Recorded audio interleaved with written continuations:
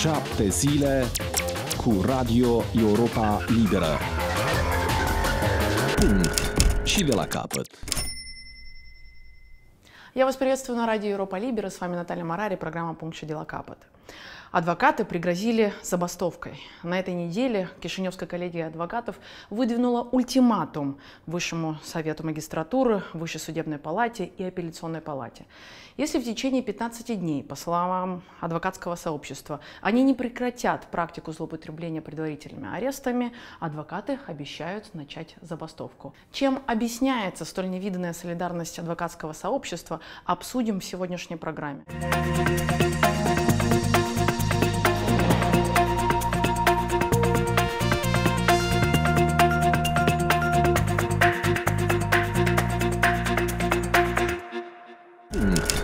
Și de la capăt. Итак, на прошлой неделе коллегия адвокатов Кишинева выдвинула ультиматум Высшему э, Совету магистратуры, Высшей судебной палате и апелляционной палате города Кишинева. Говорим об этом с одним из авторов этой инициативы, адвокатом господином Нагачевским. Господин Нагачевский, добро пожаловать на Европа Либера. Здравствуйте. Забастовка, тот ультиматум, который вы выдвинули э, трем э, судебным инстанциям, э, вещь довольно редкая для Молдовы, особенно в последнее время. Я бы даже сказала радикально. Неужели настолько накипело у адвокатов? Ну, для уточнения, не трем судебным инстанциям, а двум судебным инстанциям, а также органу самоуправления судей, это Высший совет магистратуры. Магистратура, да. Э, Этот э, ультиматум э, продиктован все-таки определенными проблемами в, в юриспруденции, в юстиции, с которыми сталкиваются адвокаты, которые не могут быть преодолены, возможно, другими путями. На общем собрании адвокатов города Кишнева, муниципия Кишнева, в общем, был поднят этот вопрос. э, Вы его подняли? Да, я э, э, э, обратил внимание адвокатов, что все-таки есть огромная проблема.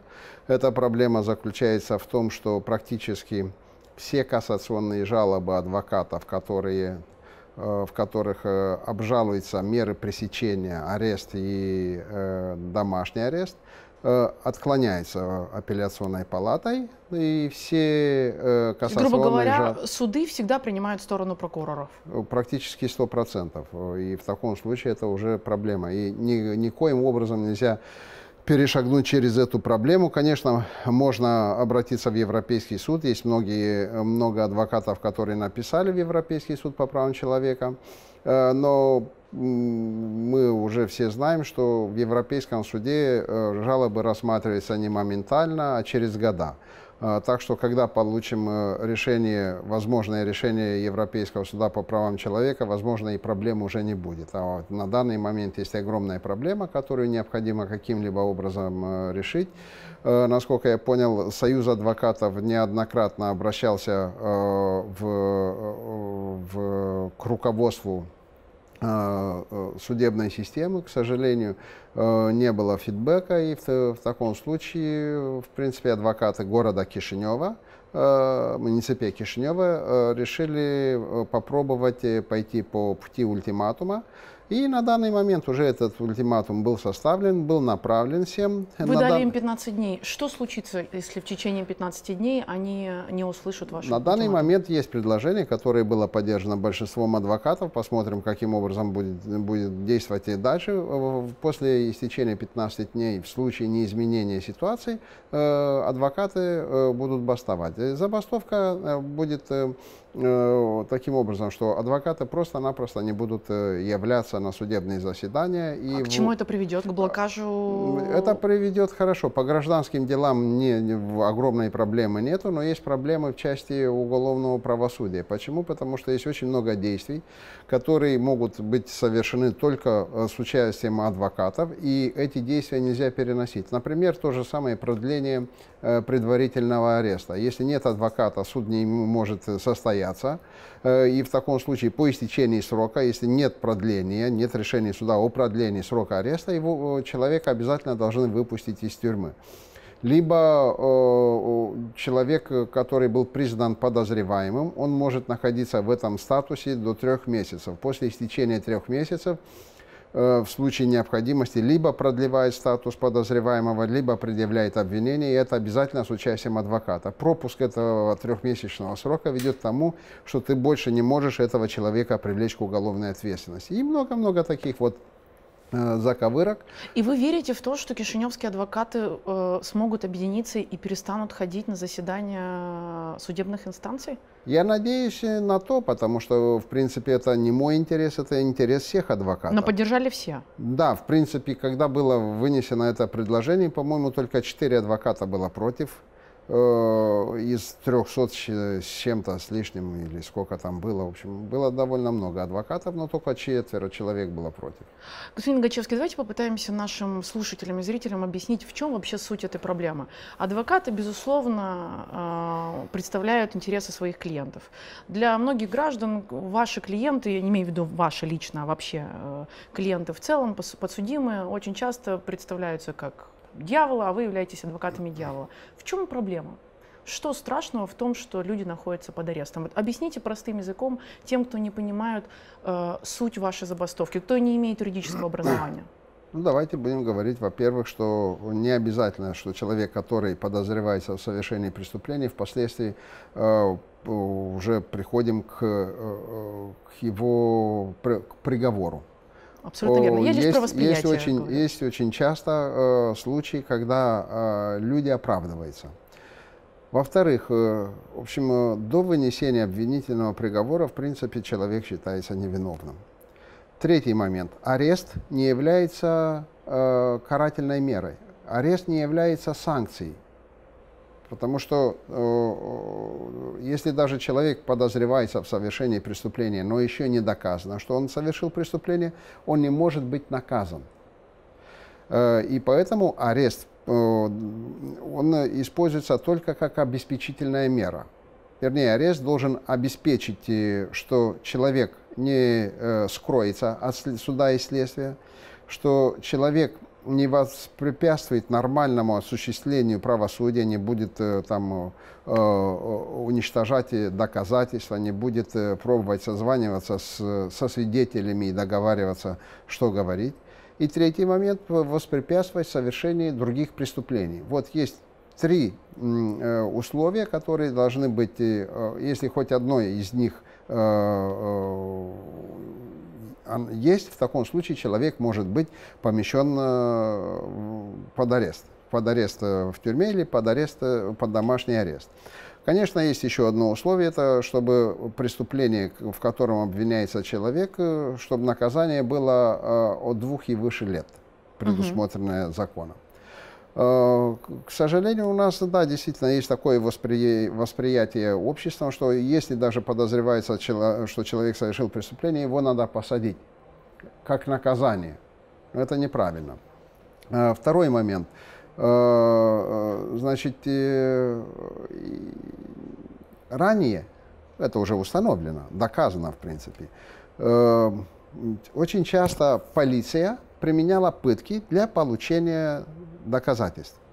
У нас в Молдове? Да, да, у нас в Молдове. Есть же много решений Европейского суда по правам человека и так далее и тому подобное. Есть признание э, по некоторым делам правительства, что да, действительно совершались э, пытки.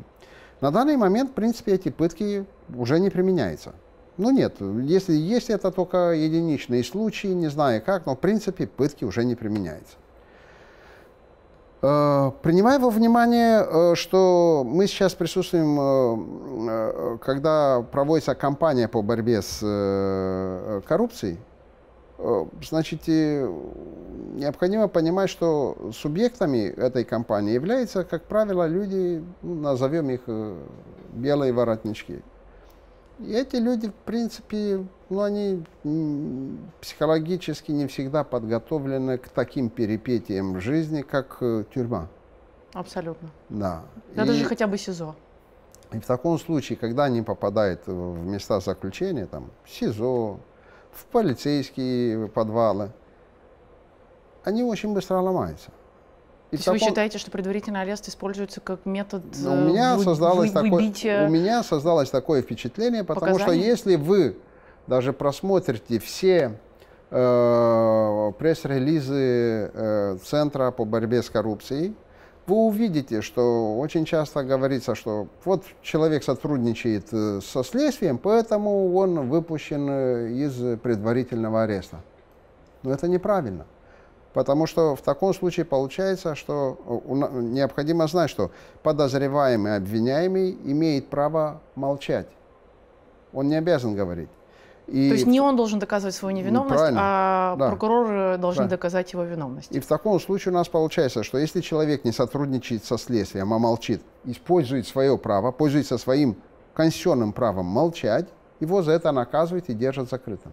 Правильно? И на вашей практике много случаев, когда арест использовали для того, чтобы ну, давайте будем на, э, говорить, на людей, э, что я не так показания. часто участвую в, в, по уголовным делам, но на данный момент вот у меня есть одно дело, и у меня явно создалось впечатление, что моего клиента держат э, в связи с тем, что он э, не согласен, э, в общем, не признает то, на что настаивает прокурор. В общем, в принципе, он настаивает на то, что он не совершил преступление, и он, но прокурор настаивает на том, чтобы он признался в том, что он не делал. Я правильно понимаю, что прокурор не Э, вместо того, чтобы пытаться находить доказательства, они пытаются заставить людей признаться в том, чего они ну, совершили в принципе, не у меня создалось впечатление, что они являются последователями э, книги Вышинского э, «Признание королева доказательств».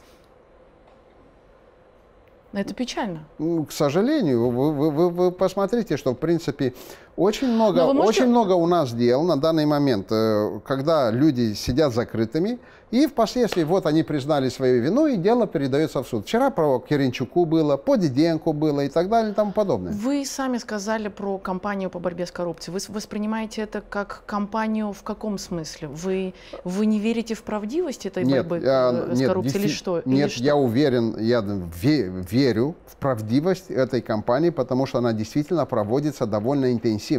То, что сейчас э, идет, действительно оно похоже на борьбу с коррупцией, и действительно работает находится э, довольно усиленно на, на этой ниве. Просто, э, как всегда, эта компанейщина, не знаю, насколько она выдержит, если действительно приведет к уменьшению коррупции у нас, но, в принципе, есть уже определенные результаты. Но в результате этой компанейщины страдают невинные люди. В общем, идется по пути, лес рубят, щепки летят, к сожалению. Э, и я считаю, что необходимо быть намного более внимательным, потому что э, есть и другая, э, другой принцип. Уж лучше 10 виновных на свободе, чем один невиновный в тюрьме. Для вас вообще, как для адвоката, имеет значение, какие способы э, и методы э, используются в рамках борьбы с коррупцией? А то это не то... важна, важна сама по себе борьба с коррупцией или то, насколько правильно она ведется? А, обязательно должны быть методы законными, потому что незаконность методов ведет к перегибу и ведет к возникновению других э, процессов. Когда будут э, и использоваться незаконные методы, будьте уверены, что эти методы потом будут э, использоваться и в других случаях. И перегиб есть перегиб. Э, если идет борьба с коррупцией, она должна идти и осуществляться строго на основании закона. Коллеги адвокатов Кишинева э, говорит о злоупотреблениях э, мерами предварительного ареста. Э, Объясните мне, пожалуйста, позицию судей. Получается, что они всегда принимают сторону прокуроров. Э, выходит, что все, что делает защита в тех или иных процессах, это не имеет никакого значения. Ваши аргументы не слушают. Что происходит? Э, ну, опять, я, я хочу подчеркнуть, что мы сейчас говорим о мерах предварительного, да. о, о предварительных мерах, об аресте и домашнем аресте.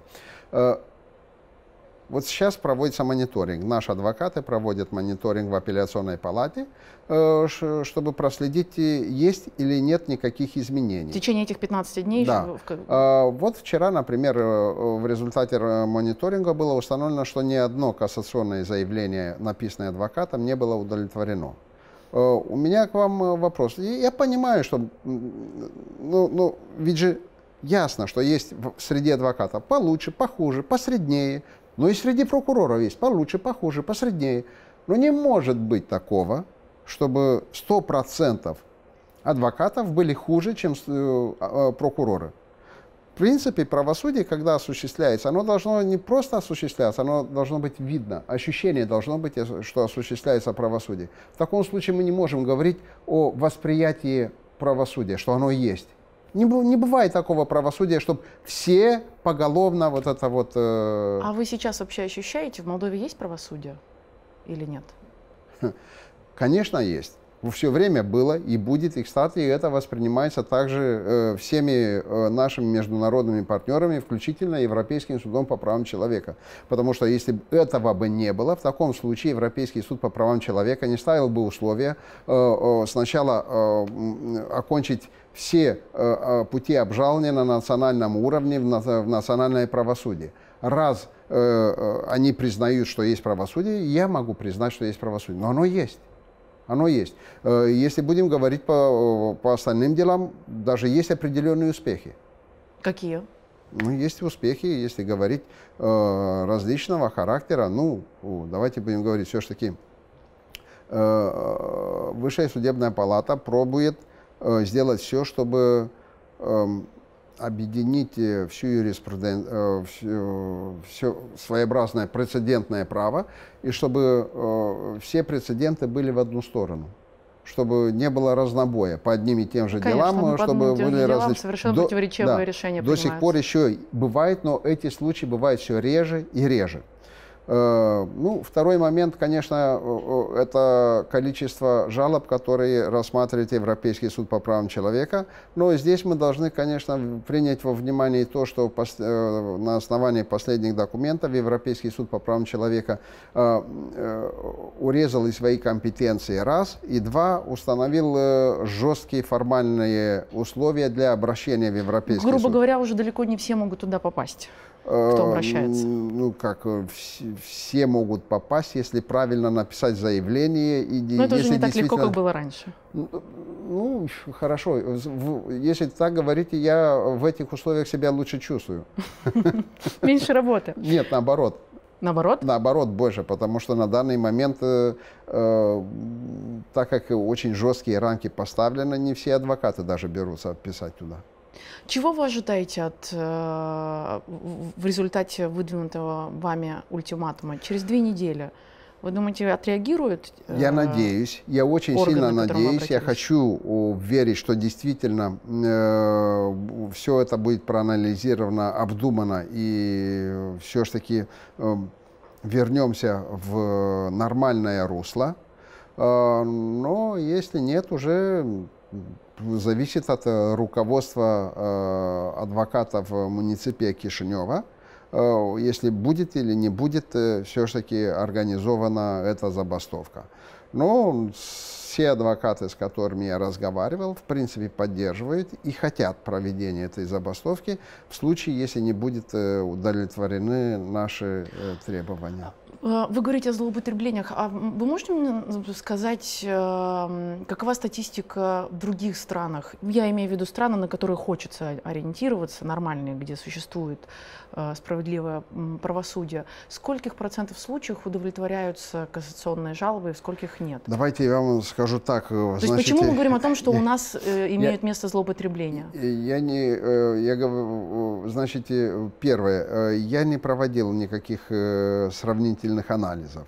Второе, э, в э, нормальных э, странах арест является действительно исключительной мерой предварительной мерой. У нас, к сожалению, исключительной стал, стали предварительные меры, не связанные с лишением свободы, а арест стал нормальным явлением. Следующий момент арест стал... Э, да, я про статистику спросила вас. То есть, что, вот для вас, какой сейчас, по вашим данным, сколько процентов э, Хорошо, жалоб, э, значит, на 16 на 16 год было, по-моему, 16 или 15 год было, был проведен своеобразный в общем, изучение статистических данных. По республике было, если не ошибаюсь, 84 процента отклоненных э, кассационных То есть в 84% случаев адвокаты просили э, да, э, да, отмены... Да, да. Э, по республике, да, не по отмены Да. меры предварительного э, На данный момент никто не проводил никаких статистических анализов, но мы, адвокаты, э, участвуя в рассмотрении дел в э, апелляционной палате, увидели, что в принципе практически 100% практически 100%. Ведь же как сейчас э, изучаются дела и выносятся решения? Значит, изучается там 5, 10, 20, 30 дел, рассматривается, потом суд заходит в совещательную комнату, совещательную комнату и выходит и по всем 30-40 делам выносит решение. И э, вот все адвокаты находятся там, и слышно, что происходит. В общем, э, практически все кассации Э, отклоняются адвокатские. Все э, кассации, которые э, написаны адвокатами, отклоняются. Мне, я, я перед этой программой говорила с несколькими адвокатами. Некоторые из них мне говорили, что иногда вообще складывается впечатление, что э, э, решение судьи это сплошной копи-пейст из э, требований прокурора. Иногда даже ошибки повторяются. Это действительно так? Ну, есть и в некоторых случаях некоторые э, судьи просто-напросто э, берут, э, возможно, у прокуроров на флешке их требования и переписывают. Ну, а в вы принципе... можете мне объяснить, это что? Это лень? Нет, это, это не... Смотрите, в принципе... Это отсутствие независимости. Что это? М вы, требу... вы хотите, чтобы я дал э, свое, э, свое заключение, что это такое? Ну, что это такое? Э, во-первых, это оптимизация труда. Зачем писать, если уже написано? Во-вторых, в принципе... Но они же эту флешку берут не у адвокатов, они эту флешку берут у прокуроров. В принципе, э, я не вижу проблемы, если они будут брать флешку и у адвокатов, и у прокуроров, будут вводить в компьютер, потому что в любом случае в своем решении судья должен описать позицию прокурора. Он взял флешку прокурора, и сразу выдал ее, чтобы не набирать все вручную, правильно? Это логично. логично. логично. И я не вижу, если я как адвокат дам судье эту же флешку, и он перепишет то, что я написал, и даст уже мое заключение. Впоследствии даст свой анализ и уже возьмет скажет, в принципе, аргументы прокурора, они более сильные. И говорит, в чем сильность этих аргументов. И опять же уже берет определенные тексты копи-пейст. Поэтому, если честно говорить, даже если есть копи-пейст и правильно сделанный, я за это. Ну, это нормально. Я вот звоню прокурору, да, э, он мне говорит, слушай, я вот э, э, подготовил заявление о продлении срока содержания в аресте твоего клиента. И прошу, дай мне, пожалуйста, Э, по электронной почте электронную версию этого заявления, чтобы не бегать с бумагами. То есть это нормальная практика? Он мне высылает. И я уже, когда готовлюсь э, к, к суду, беру э, электронную версию, и когда критикую заявление прокурора, я беру автоматически оттуда копи-пейст его предложения, вставляю уже в свое видение и представляю уже свой документ с ошибками возможными, которые сделал прокурор. Возможные. Я поняла. Э, э, Всемирный экономический форум, знаете, ежегодно проводит, э, представляет индекс глобальной конкурентоспособности. И согласно этому индексу за 2016-2017 год, который был недавно представлен, Молдова по независимости судебной системы занимает 133 место из 138. Э, я сама не поверила, когда об этом услышала, залезла действительно на, 100, на 227 по-моему, странице э, этого отчета, это указано. На ваш взгляд, почему так все плохо? Мне даже трудно дать э, свое определение. Почему? Ну, возможно, есть несколько составляющих. Ну, мы можем говорить об обеспечении независимости судей. Вроде бы, если брать так законы, она, независимость есть. Одновременно эта независимость подвержена определенным э, рискам. Э, ну, эти риски, они должны быть. В случае совершения определенных незаконных действий судья должен быть наказан. Э, но самое главное, что у меня в голове постоянно вертится, это то, что у нас, к сожалению, нет института ответственности судей за проделанную работу. Нет такого института. В общем, Судья не ответственен за акт правосудия, который он совершает. Конечно, я не согласен, чтобы каждое его решение было рассмотрено как возможность привлечения его какой-либо ответственности судьи, даже если ошибочное решение.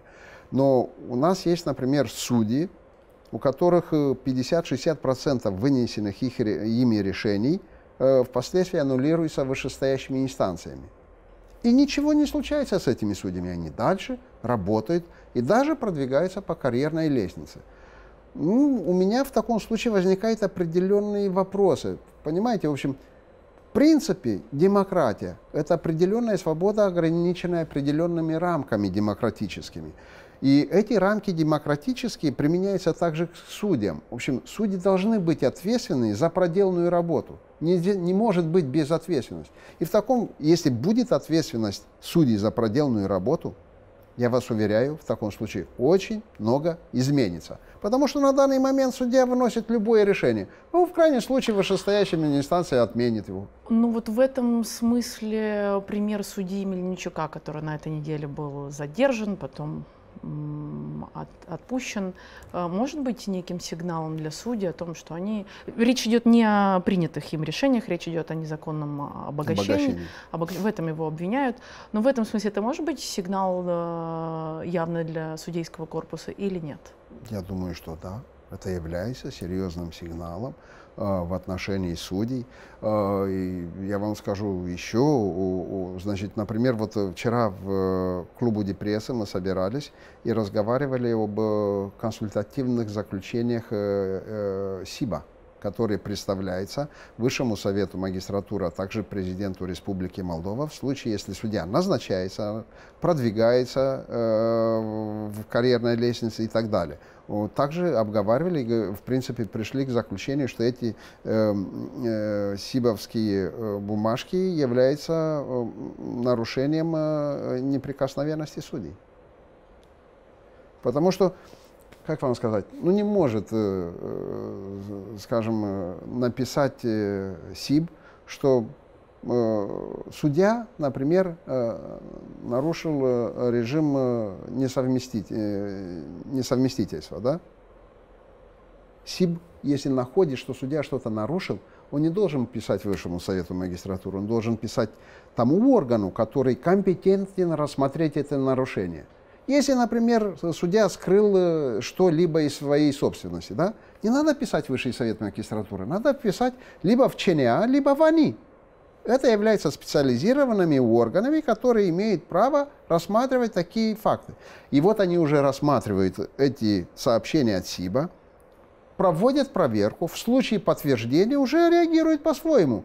Э, ЧНЯ это возбуждает уголовное дело и проводит расследование, передает дело в суд, они выносят свои решения, которые, на основании которых э, уже в, в, в, этот судья... Но ведь на практике этого не происходит. А вот я не понимаю, почему до сих пор все... И это опять же является посягательством на независимость судей. Это является посягательством на независимость судей, потому что на, основ... вот, э, на основании этих заключений СИБа, в принципе, человек, по-моему, может даже быть наказан. А представляете, кто пишет но эти... Плюс, но плюс еще ко всему у нас должна быть уверенность в том, что э, эти... Э, а кто пишет у нас эти... Эти документы СИБа, они абсолютно независимы. А, а что, те люди, а которые их пишут, пишут, абсолютно независимы. Ну, давайте я вам скажу, что в принципе пишут это местные работники СИБа. Например, в районе Страшень, да? Ну вот, э, Сибовец подходит к суде. Слышь, у меня там э, родственник имеет э, проблему. Ты можешь помочь ее решить? Судья говорит, слушай, я не могу, потому что, во-первых, я судья, во-вторых, твой родственник не, не прав. Ну, слушай, хорошо, я ну, тогда подожди. напишу. Ну, Придет время, я когда на ты тебя захочешь, напишу. Когда ты захочешь попасть в Кишиневскую инстанцию да. какую-нибудь, я тебе напишу. Вот так. Вот так. И что, так, что мы будем делать в таком случае? Так получается, мы в этом нашем болоте будем вечно Нет, э, на данный момент, насколько я понял, даже создана рабочая группа по поводу пересмотра вот этой данной практики и, под, э, и изменения закона, изменения э, практики применения закона для того, чтобы исключить э, вот э, такие перекосы. Но... У вас есть уверенность в том, что новые судьи, которые были назначены, которые были назначены э, в последние годы, те, которые пришли, вот новая кровь, которая пришла в систему, систему, это люди абсолютно независимые. Нет, такой уверенности она не может быть. Не может быть, потому что, понимаете, независимость, она состав... в принципе имеет три составляющие. Это субъективная независимость, сам человек, как себя чувствует, насколько он независим изнутри. Вторая – это уже независимость институциональная, это законные гарантии независимости. И третья – это материальная независимость. Вот есть три, три э, составляющие независимости – Теперь, э, хорошо, законные э, в отношении закона. Вроде бы есть определенные э, законные гарантии, а также с материальной точки зрения, для того, чтобы судья был независимым. Теперь необходимо посмотреть, насколько соблюдаются эти законные гарантии, нет ли нарушений со стороны самой судебной системы, со стороны вышестоящих инстанций, со стороны административных органов, государственных органов, а также со стороны Высшего Совета Магистратуры. Нет ли посягательств на эти законы? Законные гарантии независимости. И самое важное – это внутренняя независимость этого человека, который является судьей. Как он воспитан, как он вырос, в какой среде, как он э, подготовлен, уровень его подготовки. Все это влияет на его внутреннюю независимость.